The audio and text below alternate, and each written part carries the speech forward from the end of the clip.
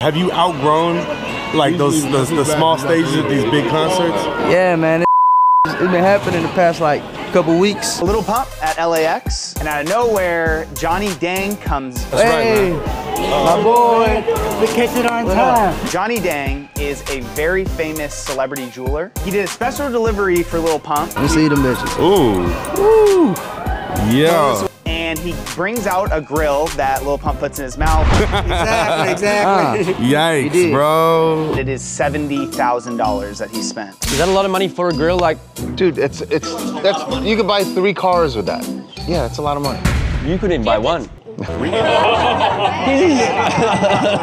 Hey, do you guys know I've seen Charles in no less than four cars driving around the city? Got the BMW, got the Porsche, he's got the Mercedes truck. It's not, it's an Audi.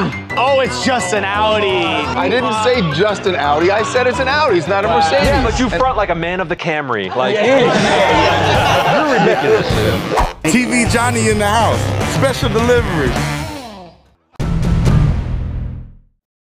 We're TMZ. If you like our vibe, click on that button and hit subscribe. We'll send you more.